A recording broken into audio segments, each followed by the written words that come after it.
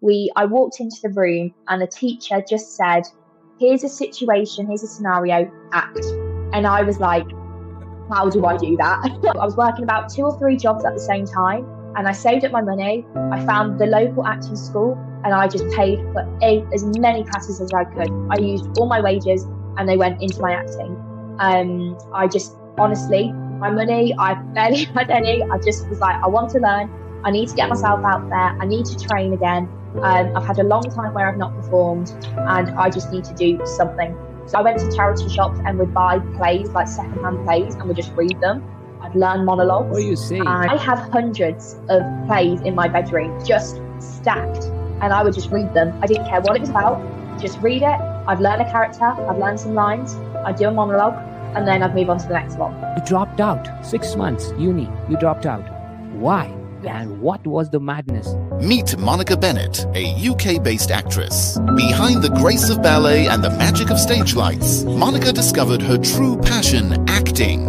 From her early days with the Birmingham Royal Ballet to leading roles in indie films, she combines elegance with raw talent. Now, with her sights set on Hollywood and HBO, she shares how auditions, character preparation, and passion fuel her craft. Watch now to dive deeper. So, hey everyone, I am Ajay Tambe, the host and producer of Create Your Year Starting podcast. And today with me, I have a wonderful guest. She is an actress and she's from the UK. Important thing is she is uni dropout. So another one in the club again for acting and for auditions and for you know a journey to become an artist. She decided she is going to drop out okay that is one of the big things she has done at this moment importantly she started dancing at the age of three. She entered into tap dance into ballet. She trained you know uh, in, in in proper academy in birmingham and you know she trained herself. Then she also trained herself as an actor. She did a lot of workshops auditions you know trained herself through the process of being into play joining uh, workshops being under mentors. Same thing she did. So she is kind of professional at very young age she is something that she is doing where she thinks no i have to do it professionally. She is maintaining the whole aura of herself as an artist like she wants to make sure that everything falls in places and i have to be good at every single thing. So today i have with you is monica bennett from uk welcome welcome to the show monica. Hello thank you so much for having me. So what's up? What's going on with you now um, actually, life is very busy at the moment. So obviously, it was the summer holidays for us. So I went away with my family a few times because it's quite a okay. quiet time for acting um, in the UK during kind of July and August. But September and October, they're really busy months. So I'm just going from audition to audition, projects, and yeah, just going for it wow that sounds cool you know? Uh yeah i heard this thing you know uh, this june july are the months where there's not a lot of work but uh, that is the part where you prepare you know on your craft you prepare mm-hmm. for auditions self tapes uh, a lot of mm-hmm. things are going on. Okay uh, monica just tell me one thing. What's your schedule look like in 2024 you know as an artist? What are the things that you follow uh, as an artist now in 2024 um, so each day I try to kind of watch either an interview or a masterclass or something from an actor, director, casting director, agent, anyone okay. really that I look up to. I try to do that mm-hmm. every single day because it keeps you motivated, it keeps you inspired, and it keeps you constantly like going for it. Um, yeah. And then each week looks different. Obviously, when you're a performer, you can have a week where you are working seven days and then a week where you could be working one or no days. So um, when I'm not doing that, I'm just picking up work where I can. Um, but yeah, working all the time. yeah, I mean uh, that is kind of dilemma for an actor. You know, when there's too mm. much work, you think like, "Hey, I work like hell." You know, it's it's uh, like, why are you guys not working? We come into that ways where we see we see ourselves like like working like hell. You know, and there's a part where we are chilling like like it, yeah. it's it's a part where there is no work and you're still confused like uh, and you go into that phase like what's going on with me? I have no work. And it, it's kind of a, a, phase of and every actor goes through this you know?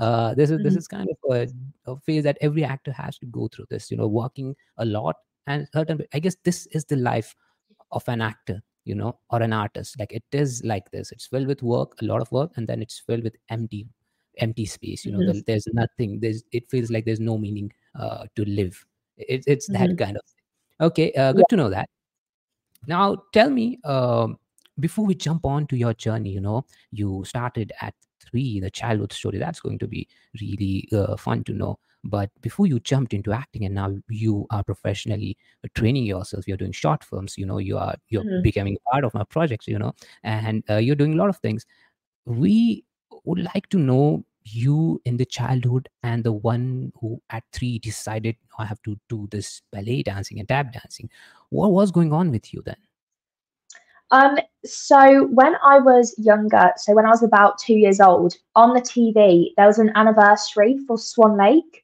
and mm-hmm. Sadler's Wells with the Royal Ballet, and I was two years old. I sat in front of the TV and I watched it.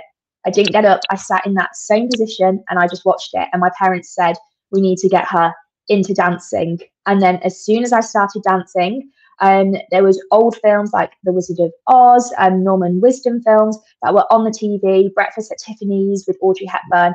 And as such a young child, I would just watch them. I wouldn't be bored. I wouldn't be scared. Um, and I think then my parents kind of knew, okay, she really likes what she's watching. Let's just get her to try it. And then I've done it ever since, really. Well, that's good to know. You know, uh, that phase of uh, curiosity, you know, getting stuck yes. in front of TV, and then your parents must be the one who took the good decision. You know, where they didn't put you on TV, they put you in front of TV, and they thought like, hey, just let her have her fun and not interrupt. Yeah. let's continue the work.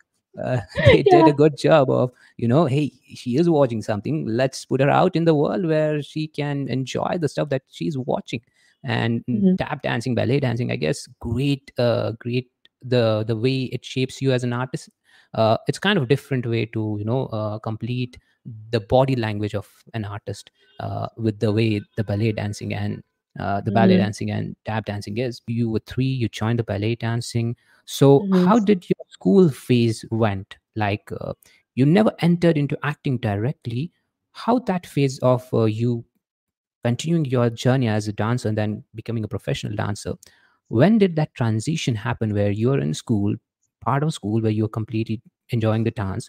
When did that transition happen and how that happened of you entering into acting?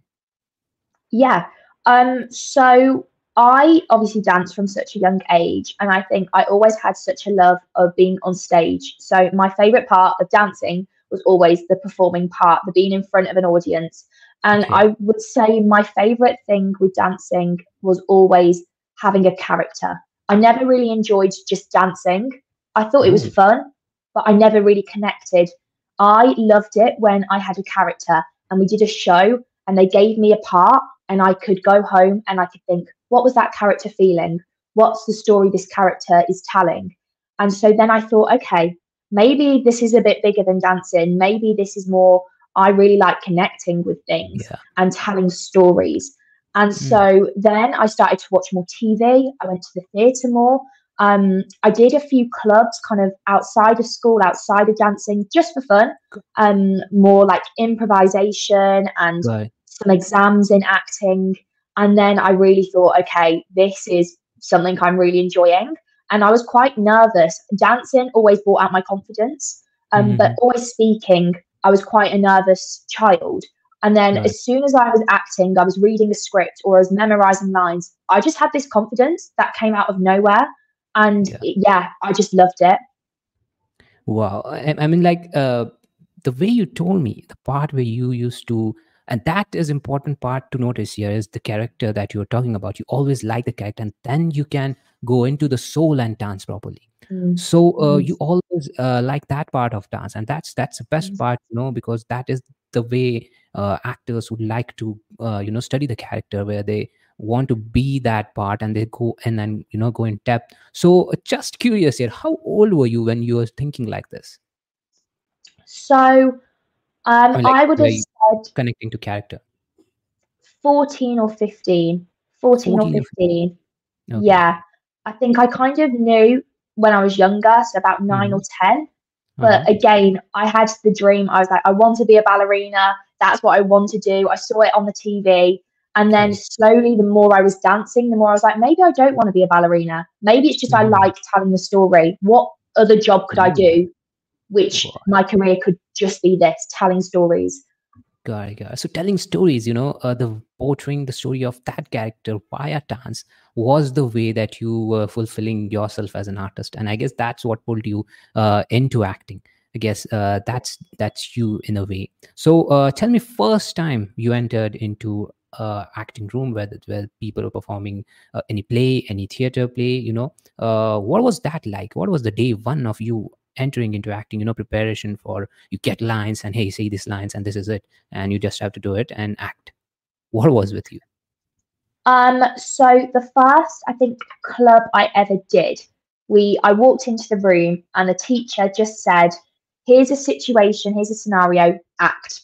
And I was like, "How do I do that?" I was like, "I have no idea what you're talking about." And they just said, "Just do it. Just do what your body is telling you. Do what your mind is telling you. Yeah. Use the other actors in the room, act." Mhm. And I was like, okay, I felt silly. I probably wasn't very good.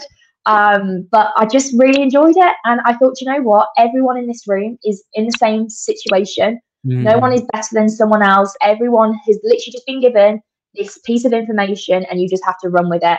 And I think I quite liked it because there was high stakes, there was pressure, but Yeah. also a lot of fun with it. So yeah. God, I mean, I mean, this is the best part. You know, it puts you in the position where you are on your toes and you have to do something, Mm. and uh, that's what puts you uh, in pressure and makes uh, and gets best out of you. Sometimes, you know, uh, and I guess uh, this is the part where uh, when when the teacher told you to do something, I guess uh, you were good at reading the room. First of all, you read, okay, I guess these guys are in the same way where I am, and I mean that's Yes. that's a relief for you. That's where you Yeah. kind of cool yourself. And I guess second thing is you're used to do the auditions and the dancing, so you're used to be in front of people and you know act and Mhm. perform yourself. I guess that might have been something that always will help you throughout these years because you have the uh, you know uh, the process of getting in front of people, presenting whatever you have, and I guess that's that's best thing that you have with you now. Cool. Mhm. Uh, now we jump on to the part where you, you started after that you got into a play so which was the first play that you enrolled yourself cracked the audition and you know performed on the stage I would say my first play, just acting without any dancing, would have Mhm. been a showcase.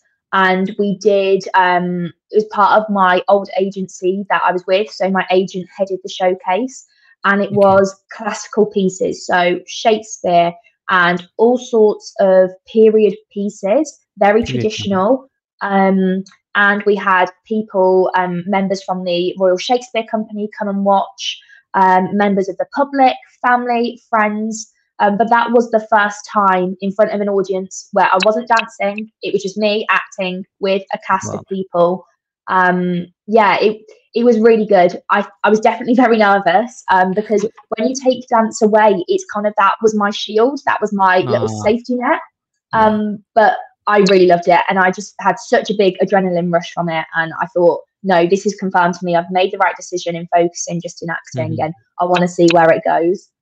so tell me what was the name of the play first uh, to begin with my questions So it was just called the Classical Showcase, starring lots of classical pieces. It was like an amalgamation of all different playwriters and pieces. We had monologues, duologues, um, short scenes, and they were all just compiled together. Um, so that was that. Um, and it was under Bazan Talent Agency. So yeah. Got it. So tell me now, uh, when when you got it, you you know you were approached to do this part, and they decided to get you in. Uh, how did you prepare? Because I guess there is a rawness in the first play, and there is, uh, you know, where you where you uh, develop yourself throughout the years and throughout the days you perform. So the rawness of you uh, in the first play, how did you approach to the character in your first one? I Did you just personally always the like line, or what? What was with you? Like you pre- prepared professionally, or you just you Mhm. know just read the lines and you know prepared. That's it. I just uh, memorized the line, and that's my part. What was it? I I always like to research in whatever whatever character Yeah. or role I'm doing, whether that's a play that's known, like a Shakespeare play. There's obviously a lot of information about Shakespeare through the internet, through books, so that's really good place to start. However, if it's a play that's a brand new play or a brand new film, um, and there's not much information, I try to look at the themes that go on with my character that I'm playing and the other characters and kind of get a good gist of what's going on in whatever period it's set. I think as well, I always like to try to make a background story for my character because mm-hmm. the audience we are the audience are introduced to a character from scene one, from the first from the moment they step onto stage or the camera. However, you've got to think if this was real life, that character's had a whole life before the audience even meet them. So to make mm. that character and performance as realistic as you can, I try to give myself a story. So I'm carrying on that story so it feels natural. And then I'll go into line learning. So just going over and over lines, making yeah. sure I know them so I could do them from any point. Um, the lines shouldn't be a worry, I think, when you're acting. Once you know them, you know them. And then yeah. you can just solely focus on your performance. I think mm. there's been times, maybe when I was younger, I was so stressed about knowing the lines. So yeah. my performance didn't look natural. It didn't. It wasn't as good as probably what I could have made it. Um, mm-hmm. I think that's just learning and preparation. And lines are yeah. still something I struggle with. Um, but yeah, you've just got to practice. I think. I guess uh, that's what I was talking about. You know, the early days where you just get so nervous. Okay, I have to do this. Yeah. I have to say lines. I have to be on that spot, and I have to perform. And then you have to respond to other characters. And there's a lot of things going on in a stage play at the same time. You are, you know, mm-hmm. performing. Mm. You have to listen. You have to observe. A lot of things you have to do. And I guess uh, that that was the part that you saw yourself developing over the years, where you now go in depth with the stories and the preparation, how you uh, deal with the craft and the graph of mm. particular character I guess uh, that really helps you out today. Okay. Mm, uh, okay. And now we jumped on uh, the part of character preparation, but I'd like to know that you mentioned that Killing Eve and Jodie Comer's performance performance shifted your perspective on acting. What about mm. that show on her character spoke to you, and how did that inspire you? So you're saying uh, this is happening in lockdown, right? 2020. You were watching yes. movies, okay? Yes. And you watched a movie. So, so tell me, before lockdown, before 2020, you were completely into dancing professionally, or ha- were yes. you doing something plays or nothing? No, um, I had done when I was about nine and ten years old, and then okay. I took a step back and was just dancing before lockdown. Got it. Yeah. So, so uh, this switch that happened after watching this movie, tell us first of all what that movie was and what really, uh, because everyone has this moment of they decide and yes. that is and you know this was the movie so tell us first of all what that movie was and what happened that really moved you and made you to hey i want to be this i want to be in this place i want to be in in whatever they are doing and i want to experience this and i want to be like this for the rest of my life what was that mm. um yeah so as i'm sure everyone else did during lockdown there was a lot of spare time so yeah. my family definitely I think our way of bonding um, was to sit down and to watch movies. And mm-hmm. I know on Netflix there was quite a few really good movies that had come out. Um, I know during lockdown we watched the British movie The Gentlemen, and that was kind of like um, a dark humor, black comedy, um, action-packed movie, and that was different to anything I'd watched before. Um, but I really enjoyed it, and I thought the cast was brilliant. So then I started to watch more movies kind of along that line, uh, along those lines. And then I'd kind of got, I'd watched all the movies I wanted to watch. So I went on to mm-hmm. series. And mm-hmm. that's when I watched Killing Eve for the first time. And I hadn't watched it when it had come out. Um, but my parents loved it. So they said, give Killing Eve a go. I clicked on it and I just fell in love with the show, with the storyline, the directing, and the character performance. Um, I had only watched Jodie Comer in one other thing, um, but seeing her in this mm-hmm. role mm-hmm. and mm-hmm. just the way she took it was incredible. And I just literally said to my parents, I need to do something like that. And that was it. It just changed my whole kind of goals and ambitions. Um, so, yeah. Wow. And, this tells me more uh, about your parents also you know that's interesting like you tell mm-hmm. them and they discuss and it's it's kind of cool situation with you you know it, it's kind of friendly mm-hmm. situation tell me about your parents you know uh, like oh, are they in acting are they doing separate jobs they're supporting you mm-hmm. like hey we know you and like if you think this is it then we are with you so how's mm-hmm. like what's your relation uh, related to you know you taking decisions and how's your uh, thing with parents you know because they've been supporting you at the age of three so tell me more about that Yeah. Yeah, my parents are, I'm so lucky. They're amazing. They're so supportive, but we have such an open and creative household. So mm-hmm. I act and dance. My sister, she's a musician. Um, okay. So she songwrites, she plays the drums, um, and she also also does art. So as a female drummer, that's so empowering and inspiring. Um, my mom, she used to act and dance when she was my age. Um, oh, didn't take it on. Yes. Oh, and now I get take it as far, but she definitely wanted to, and she has said to me she might dip into it. Um, mm-hmm. being a bit older now and being an adult. Um, and my dad, he um, has always been very creative. He's done art himself. He used to do yeah. gymnastics when he was younger. So he's the one that helped me get into dance because he loved his gymnastics. Oh. Um, but we, I think as a family, we always try to stay really in with the arts. We're always going to the cinema and the theatre. Um, rather than going out to a party or something, we'd much rather save our money wow. and spend it on theatre or cinema or just going to a museum or an art gallery. We're very much mm. creative and we really appreciate the creative world. Um, so mm-hmm. I think mm-hmm. they've always appreciated it, whether they're recommending me a book or a TV show or a film. There's always conversation of creativity in the house, which is really quite inspiring. Got it, got it. And I, I, guess this is brand new information to all the listeners. She never told me about this fact because this uh, puts uh, you know everything into a different perspective. Because mom into mm-hmm. acting and you know art, father also into gymnastics and art, which tells more about how she is and what she is today. There is a reason behind that foundation mm-hmm. of uh, you know getting her at early age, you know, uh, making that uh, belief uh, more stronger inside her putting her in the situations where she can grow herself. And i guess these are the things which really helps an artist uh, to build themselves and you know to take the decision and the support at the same time. You know that this is uh, the one that was missing. You should have this whenever you uh, send someone the information about you. So you know because i guess this is the foundation. Your parents are the foundation where they built uh, a kind of confidence where yeah you can take this decision and we are with you. And that's that's really important thing for an artist. Okay good to know that.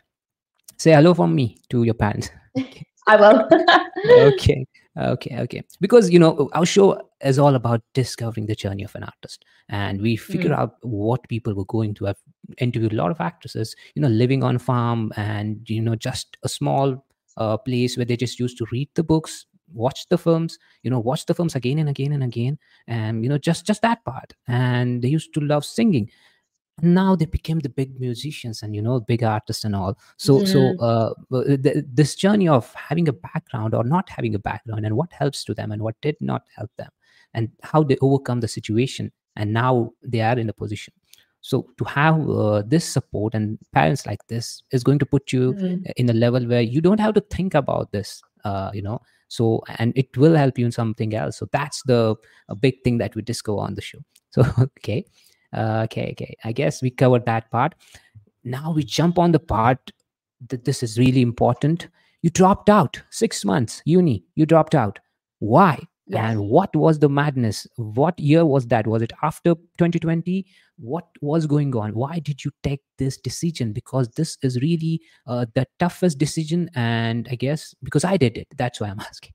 So yes. uh, this is kind of you know where where the moment you do it you feel everything is good. The moment you go three months after that everything falls down for a very large number of people. And they are confused what mm-hmm. to do and they think like what if i go back and do this?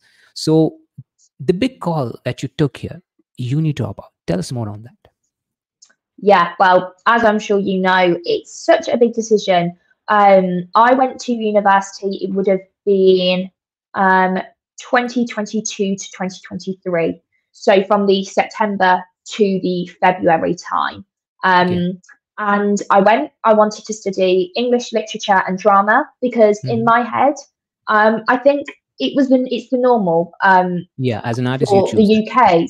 Yeah, I think I'd done performing arts school for four years. I'd auditioned for drama schools. I've got a few places, but I just didn't want to do that for another three years of doing the same thing.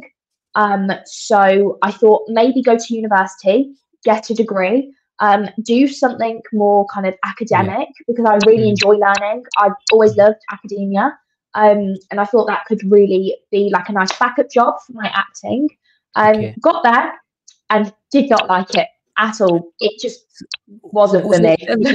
just, just hold on here. Just hold on here you took all the thing you decided and you used all your brains you know what you can think as an artist can you know do uh, his or her moves what next what next and this is what you saw this is what you saw in front of you okay mm-hmm. i'm an artist and i'm taking a, a, proper decision to put myself in a way that where i have a degree and i want to be in yeah. a place where it is all related to art so you did yes. that you took a degree yes. you took the decision of taking that degree you went yeah. to uni everything was perfect what happened that even the subjects and whatever you study was them, still you felt like this is not for me?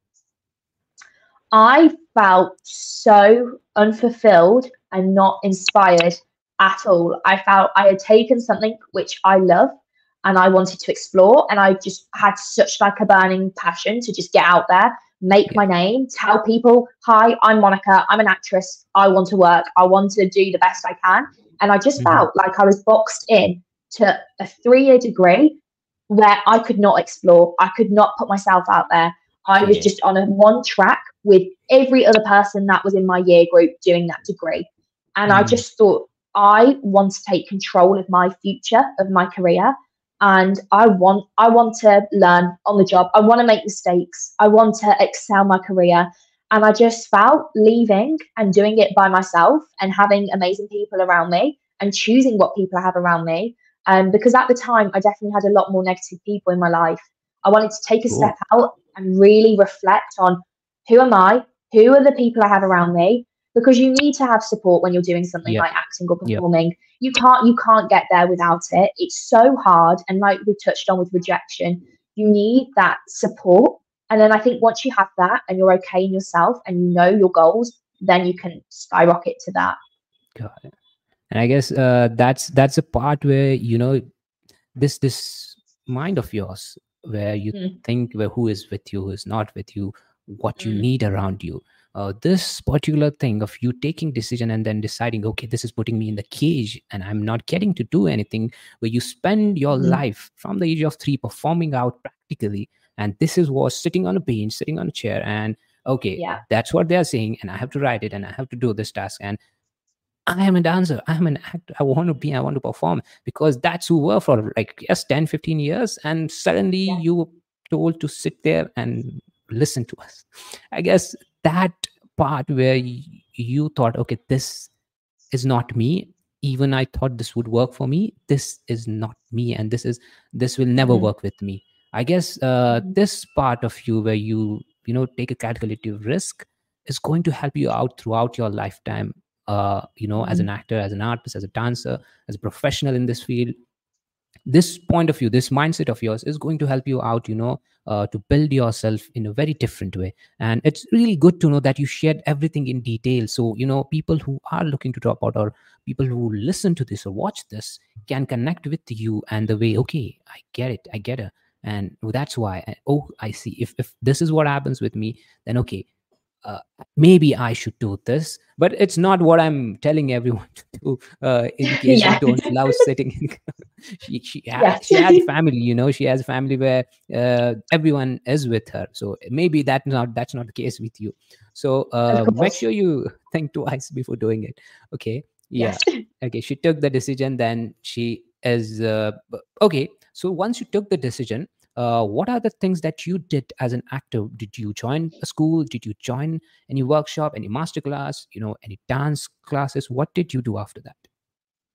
Well so i made the decision and to be quite honest um, i was really lucky. My parents they thought for a long time I wasn't happy. They knew I probably wasn't myself. Um, I wasn't bubbly Monica that I normally am. I felt really uninspired and not creative. So I wasn't mm-hmm. really doing the things that I normally love to do. I wasn't writing. I wasn't performing as much. Um, so when I dropped out, I thought, okay, what do I want to do? So I got a few jobs working in a bar and a coffee shop, earning money to literally, I had no money. So I was working about two or three jobs at the same time and I saved up my money. I found the local acting school and I just paid for eight, as many classes as I could. I used all my wages and they went into my acting. Um, I just honestly, my money, I barely had any. I just was like, I want to learn. I need to get myself out there. I need to train again. Um, I've had a long time where I've not performed, and I just need to do something. So that was it. And then I started to meet friends. I started to meet directors, casting directors, teachers, and then you start to build your network. I use social media a lot. Um, that's such a good tool, I think, for any Hmm. performer, any Yeah. creative, and it's it's a hard one because I always say social media can be very toxic, but you can be that positivity on social media. It doesn't have to be toxic. It can be a really useful tool. Um, so yeah, I would just read. I went to charity shops and would buy plays like secondhand plays and would just read them. I'd learn monologues. What are you saying? And- Second hand, yeah, Just buy them. Oh wow, that's cool. Yeah. I've heard this for Oh. the first time. I have hundreds of plays in my bedroom just stacked, and I would just read them. I didn't care what it was about. Just read it. I'd learn a character. I'd learn some lines. I'd do a monologue, and then I'd move on to the next one. Wow, that's that's really Mhm. interesting. You know, Uh, this this is your unique process of performing, and you know, not wasting time. I, I mean, like, Mm. yeah, yeah. Go on, go on, continue, continue. Yeah, um, I read loads of books um, because I think anything, anything is a really useful tool. The more you read, the more you know about the world, the more experiences you've been through. Um, I thought the more jobs I had, great. As Mhm. much as I didn't want to do the jobs because it wasn't something I was interested in, um, I wanted to use them for experience. I was meeting so many customers or so many people would come into a shop, and I would make sure I had a conversation and ask them about what they do, what was their job, because I thought if I ever had to place a character like that, I would know how they were feeling on a day. I would know their life experiences, and I could really connect. So I thought the more people I met, I would just go for it. I'd meet and say yes to having a coffee with anyone just to learn more about the world.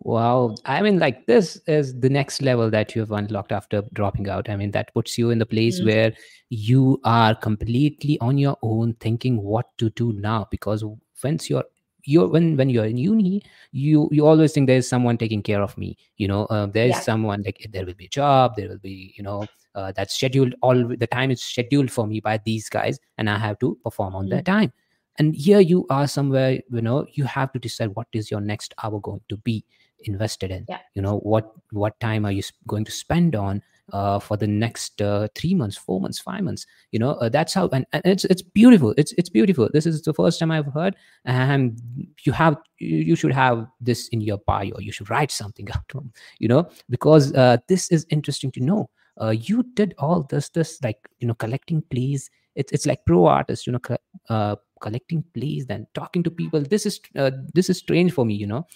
Talking to people and asking them about hey tell me about this. This is the exercise that it's given to uh, an artist when they are in a production or you know they're training.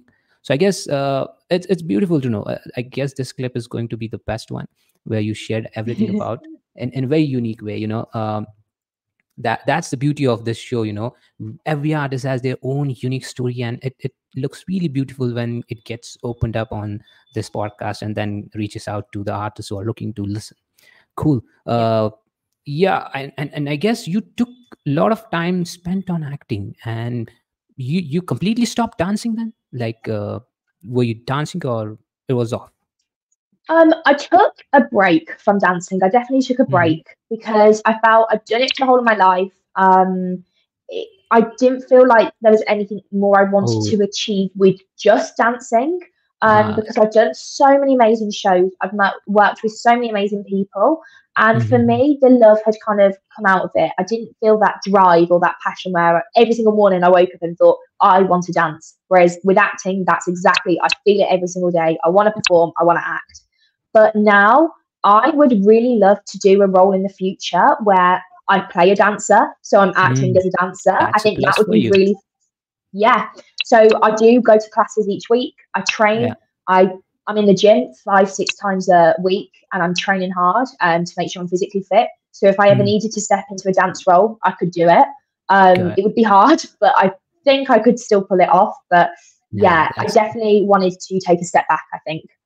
yeah but i think that's a you know plus for you it, it's kind of a skill Mm. and it's kind of a uh, if there is a role about dancers and Yeah. portraying lifestyle of dancers or something related to you know which involves dance that's a plus for you I and you've been doing this and then getting better at acting it's it's Mm. best combo it's the best combo to have dancing and acting uh, involved so it can unlock different roles for you you know uh, which Yeah. you thought okay this happened and that would be the thing with you okay uh, Yeah. so we will focus on your preparation for auditions okay so this is the part where we Mhm. discuss all about audition okay what's the most important thing you focus on when preparing for an audition? When when you're in the room uh you go for audition they give you a script and hey, they say okay this is the part this is what it is and you have 15 minutes now perform. What do you do? I think there's a few things I try to think about. Firstly, going with your instincts and doing what feels right to you, not thinking what does the director want? or what do the people on the audition panel want because they want you to succeed. I think so many actors and performers going to go into an audition. I've done the same. And you go in and you think, oh my gosh, they're looking for mistakes. They're looking for me to mess up. They're not. Their job, they want to find the right person for that role. So they're rooting for you. I think when you have it in your head that they're rooting for you and they want you to perform well, it kind of makes you relax a lot more. And you want to feel relaxed in, in an audition. Um, you want to feel really connected to your body. I always try to just shake my body out so I'm not tense or nervous. Um, And I Mhm. just feel really relaxed. And also, like I've touched on before, knowing your lines like the back of your hand, your hand, you know, you need to know them. Um, so you're not worrying about them. The only thing you should be worrying about is getting there on time, being professional, and the acting and the art should do the talking for you, I think. so what's your prep for that particular moment what do you do is there any other thing like exercises your voice or eyes your expressions is there anything that you practice out in between tho- that time I definitely warm my voice up, whether that's just a few um, running of lines, whether that's just humming, just to get obviously your vocal cords in Mhm. order. Um, I'll always glance over my lines quickly, just so I definitely know them. And I will go through my lines about three or four times before stepping into the room, um, just so I know I know them. And then I also will always, when I'm acting, I like you said, I focus on my eyes because eyes are such a good way of telling a story. You don't Mm. even have to be saying any speech, and you are acting and moving an audience because of what you do with your eyes and your facial expressions. So again. I will always practice what I'm doing between lines. What's my character thinking? I'll think like my character because then my face is going to do what my character would naturally do. It. And I guess uh, this is the best part where you, this is the moment where you should put all your energy in, you know, uh, Yes. in, in that particular moment where everything that you prepared for in the workshops, you know, taking classes, taking courses, being online, reading books, you know, doing masterclass. But this 15, 20 minutes that you get is where you put all the attention and, you know, everything Yeah. is what you get. And then it's a part where if they're looking for you, then it's you. But it's also part where maybe they're not looking for you maybe it's Mhm. not for you maybe they're looking Mhm. for someone who does not look like you or does not sound like you maybe that is the part so the part comes here is rejections you know Yeah. you go with all the hope of hey i think i nailed that and then you get a call hey sorry Mhm. to inform but you are not selected for this particular part how do you deal with that I think it's really hard. Um, it is really hard, and I think unless you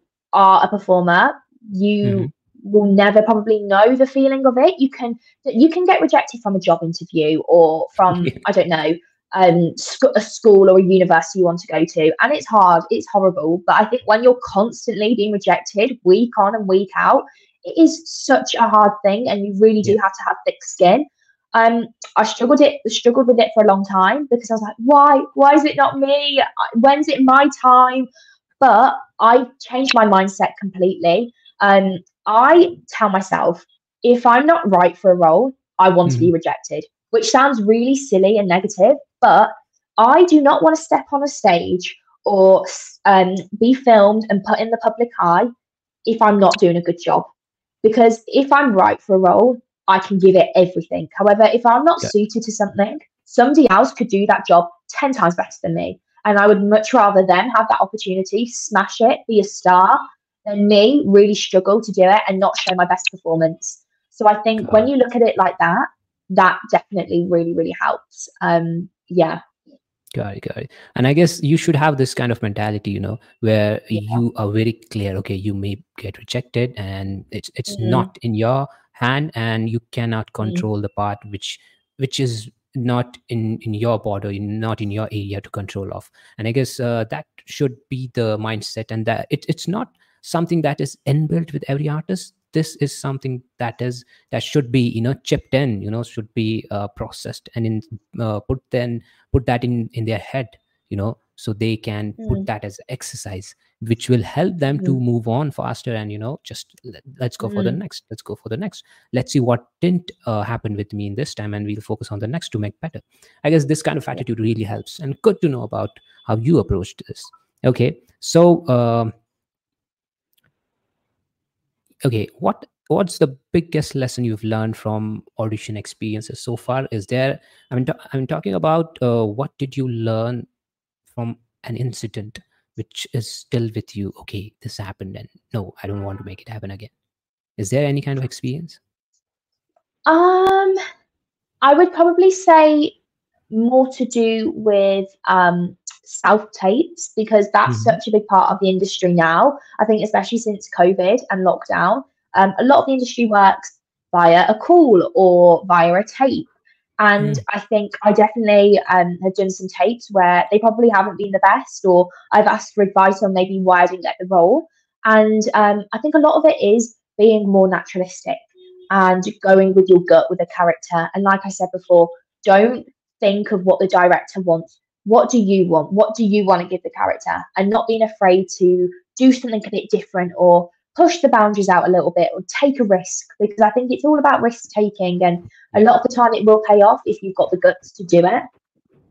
yeah yeah, and that's true you know it's it's all about taking the risk uh, when it's Mm. needed and it- it's it's it's it's a call that you have to take at the right moment where Yeah. it is needed and you have to take that call in or out and i guess that that's the thing that is really important. Okay cool. Mhm. uh now we focus on you preparing for the character. Character Mhm. preparation by monica bennett how she prepares for a character uh, till now through the experience that you've got over the years you know reading books uh, talking to people meeting people at the coffee shops you know uh, talking to them. Hey stranger tell me your story. What's with you? What's wrong with you? Tell me i want to know more I, I mean you've done a lot Mhm. of this you paid for acting classes as much as you can Yeah. you know from the things that you did So throughout this experiences of you buying you know secondhand plays reading it preparing it combining all these experiences how what's the first thing you do when you prepare for a character when you get a character now in 2024 what's the thing that you do Um, I will always read the script, probably about two or three times. I think the first time I try to read it as if I'm reading a book, as if it's Mhm. something I picked up from the bookshop and I can't wait to read it. So I'll read it from an audience perspective. Second time, I'll read it from my character perspective, um, and I'll think, okay, this is my character. What are, what's their personality? And then probably the third, fourth time, I will write notes. Um, a lot of it is in stage directions, so I'm thinking, what's my character's body language? What are their connections with other characters? And then, like I touched on earlier, I start to build a story up for that character. I I feel like actors a lot of the time we're um we're like detectives. You're picking um pieces of information and not all of the info is going to be in my lines. I look at the other characters' lines and I'll kind of build this persona of what my character is and also I'll add little bits of spice of what I want it to be, what my character to be as well, and what can I add. Um, and then I'll start to build a story. I'll do my research. So I'll look at where the um, story is set, the location, and I will then start to build and compile all this information together. And then I can start adding that to my lines and to my performance. Wow, that's good. That's good to know. You know, you really Mm. go in depth for preparing for a character, I Mm. guess. And yeah, and that's good process, and it's going to develop into more better version. You know, the way we upgrade app applications in your mobile every two three Mm. months. I guess this this whole thing that's inbuilt you, you it's going to upgrade every time you approach for any character or projects that you do, and it's it's good to know. Uh, okay, and now here's the thing.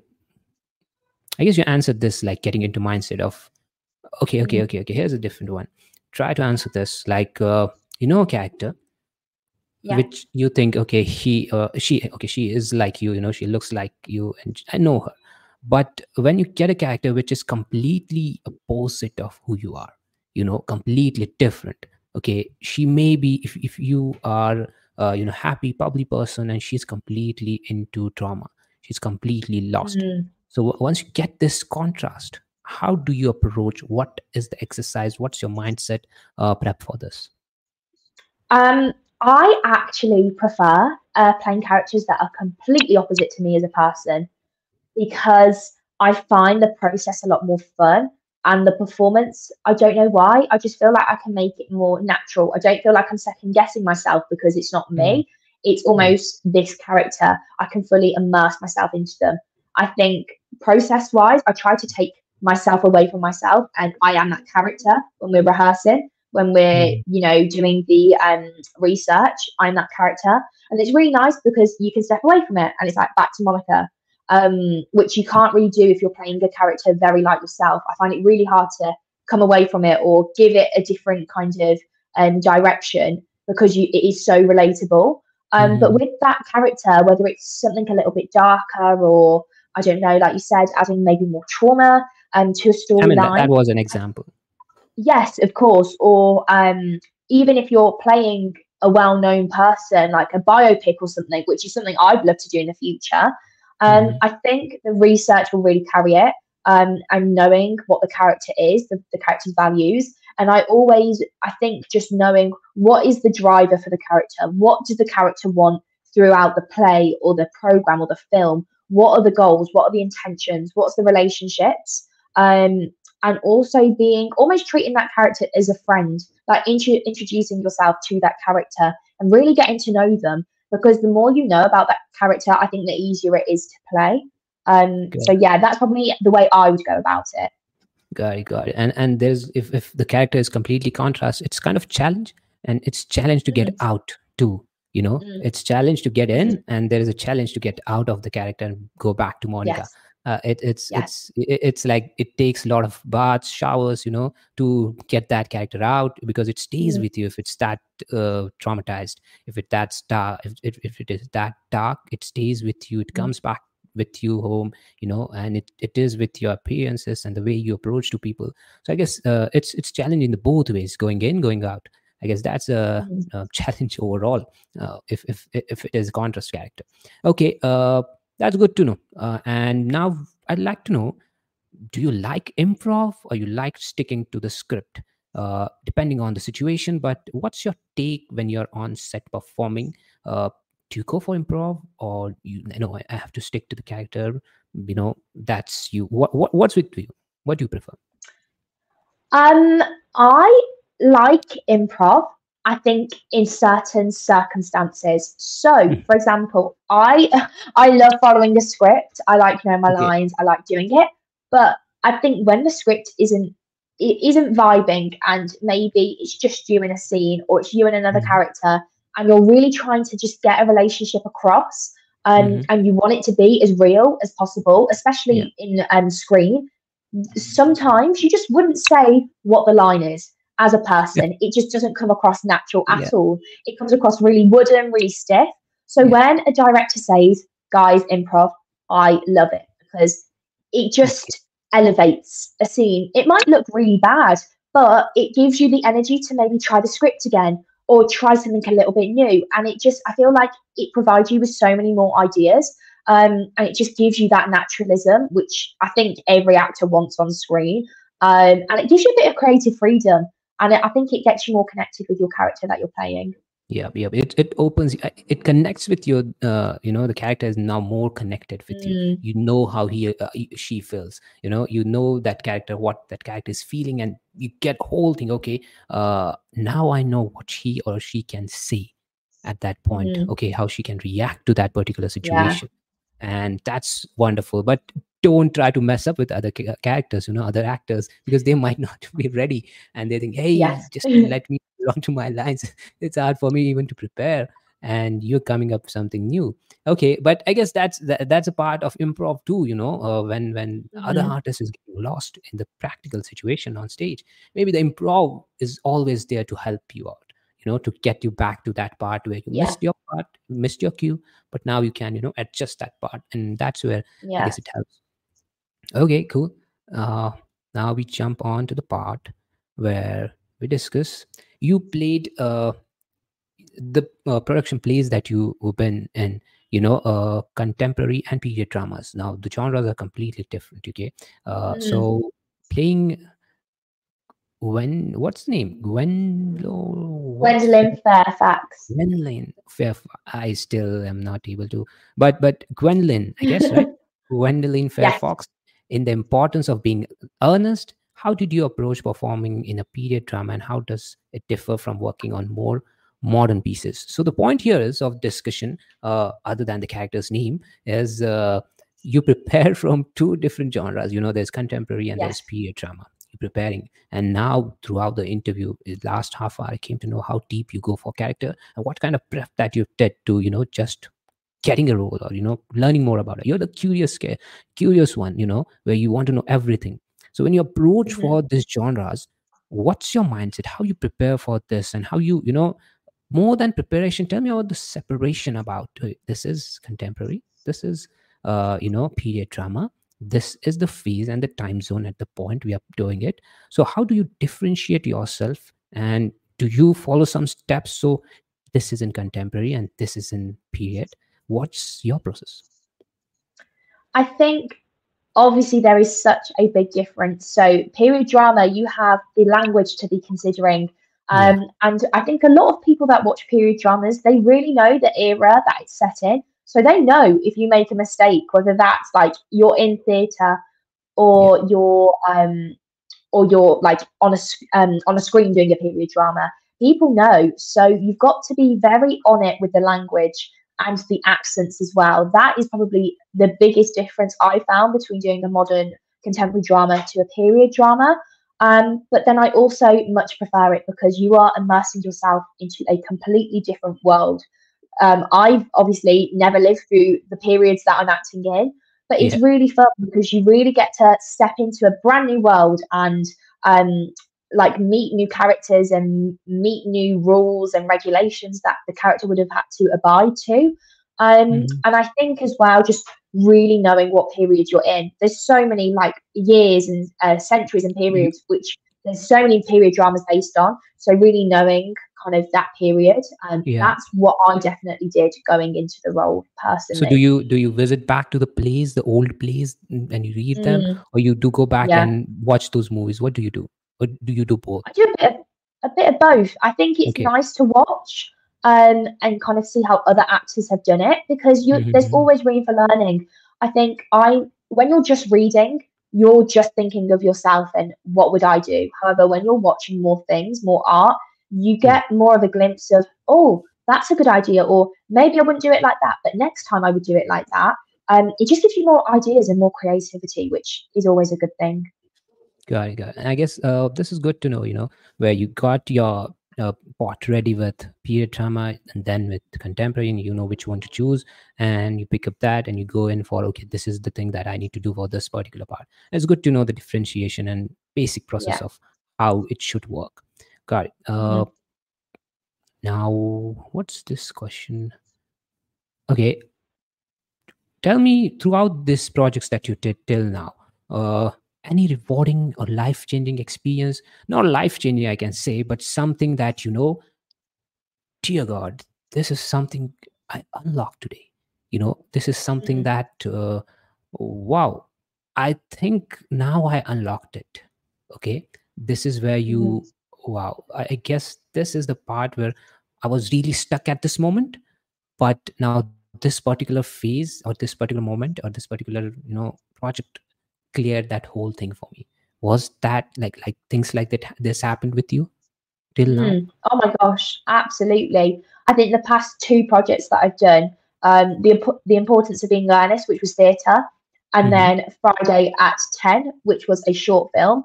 Both Okay. two very different, but two things, two genres and areas I really want to go down into more bigger Yeah. projects. But in the importance of being earnest, that was really important to me because I hadn't had an opportunity for a good few months and I was really nervous stepping back onto the stage and doing a period drama.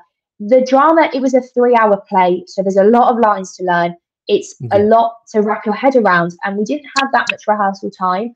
Um, the main character had actually dropped out, so the director had asked me to step in.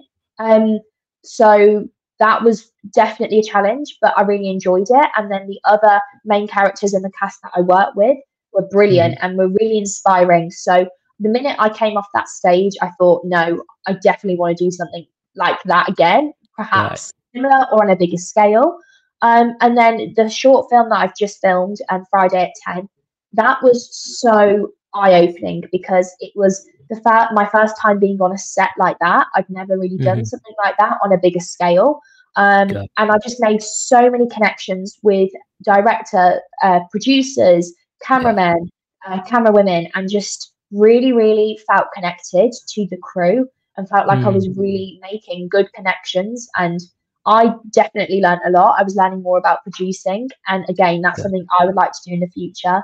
Um, so yeah, both both projects have really inspired me and given me that push to just keep on going. Got it, got it. And I guess you know uh, this is it's all about networking at the same time, where yes. it, it, it's kind of putting people uh, in the places where you know if there's anything you can help each other at the time when it's needed, and it, it it's that part. I guess that's new. And to conclude this whole thing, it, it's it's brilliant that you kind of figuring out at this moment. Okay, this is where it should be, and this is where it should be, and okay, this is the next step and the next step okay now this is solved you're kind of finding your mm-hmm. path through the days that you're traveling so i guess and yeah. things are unlocking for you every day or every new projects that you're doing it yeah. and uh, that's how your journey is going at this moment so uh, monica yeah. what i've learned from you and what i got the information from you it's completely different it's like on the both ends the morning that sent me her bio and her info is like oh god I, I thought like okay I, I, guess she's just starting out you know she she's done a few projects. And to everyone the quick info about how we got in here is it's it's all about the last moment call for our series the dark alley which is going to release in september. I don't know when this is going to release but it's going to release in september. And she just messaged hey i don't know it's late but i'm just submitting. This is my this is my link. And i was interviewing a lot of other actresses at that point where we are trying to figure out and i just get a mail i told her, hey, slots are closed up. If you're really interested, send me something and we can continue afterwards. And then we scheduled a call. And the next day, I guess, we kind of booked in. And it was wonderful. After that, we got connected. And that's how I came to know about her. And now she sent me the info where, where you send me the bio. It's completely like two ends of that. Okay. The one I know now, after an hour of talking to you, is someone who is really passionate from the age of three uh, good blessed with good parents first of all.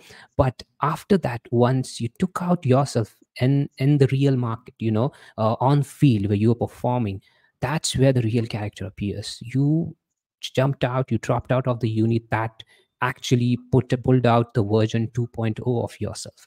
You know the one who is working the one who is uh, you know uh, paying for her classes the one who is talking to people strangers just to know that hey if i get a character like this in coming future i have the data ready with me. I have the information ready with me. I have the traits ready with me. Uh, you bought the old place. This is the bizarre thing that i'm hearing that you someone who is in 2020 plus and is buying some old place. Someone like you is is kind of you know uh, people and artists who are just start, starting out should learn this part of what hunger an artist looks like what a hungry artist looks like what uh, how eager and how hungry she is to learn about acting to learn uh, and make her better version you know make the best version out of this whatever she is at this moment. And consistently working on yourself. I guess that's you. You like to improve yourself every single time. You like to make sure that whatever i am today now in at this moment on the 10th of september i should be the most best version of me in coming six months seven months eight months i should have a lot of projects with me at this time. And i guess the mentality and the mindset that you have for characters for preparation is really going to help you out as an actress as someone who's performing in dance combination of that. And i guess that's what tells more about you as an artist. Your journey is it's completely different. You should type more of what you do you know? You should have a, a bio ready with you. This is this is something every artist should learn from your journey and learn from you. Mm. okay what and hunger in artists you know that's the best word i can place at this moment. You are mm-hmm. hungry. You are you want that to happen.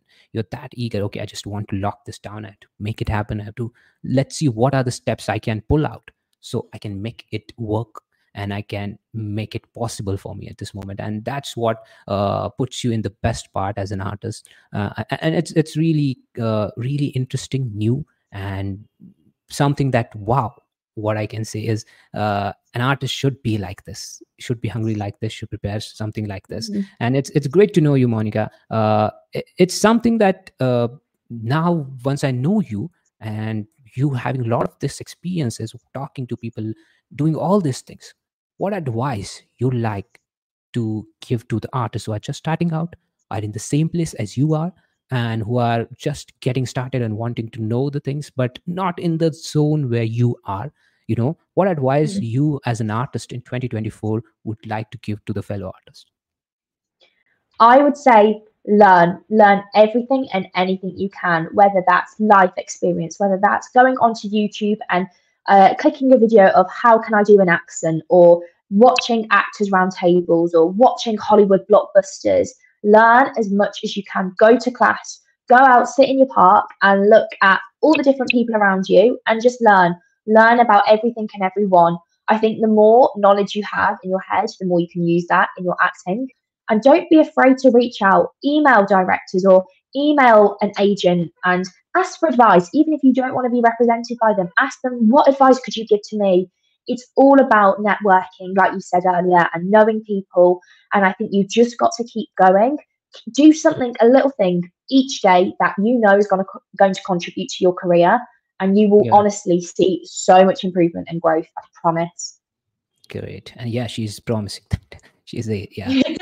promise. so yeah, so if it doesn't work, you contact her. Okay, yeah. Yes. So okay so uh, here's a part uh, thank you so much first for uh, your uh, wonderful advice to all the artists and to all the fellow artists now uh, tell me uh, so to, this is interesting part if you want to connect with Monica, if you want to connect with her regarding work, all the information about her social media, her work email, her spotlight will be mentioned in the link of this description of this episode, what we are doing at this moment. Mm-hmm. So make sure you check that. Uh, everything related to in order to approach her for work, you know, connect with her, uh, discuss with her future opportunities, whatever, everything will be there in the description of the episode. So make sure you go and check out now, and you can follow her uh, to the social handles that she has related to acting. So whatever it is, if you want to connect with Monica Bennett, everything, the information related to her is in the description of this particular episode. So uh, make sure you join, connect with her. Uh, and yeah, that's it. That was the plug that I was uh, looking to put in. So uh, I guess uh, we got your advice. It was wonderful. And now we jump on to the rapid fire. Okay.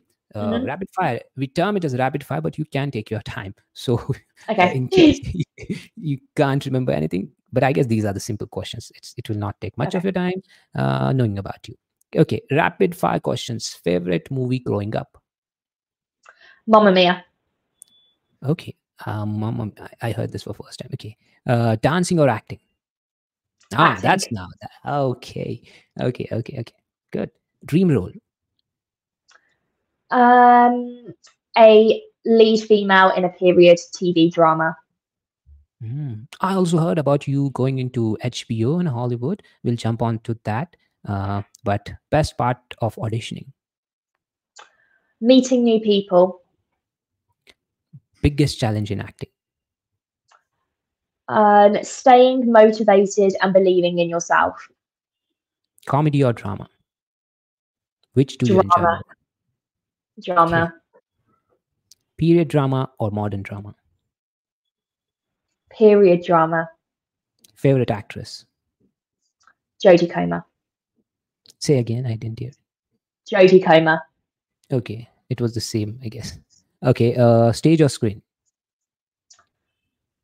Or screen. Mm, oh, screen. Okay, okay, okay, good.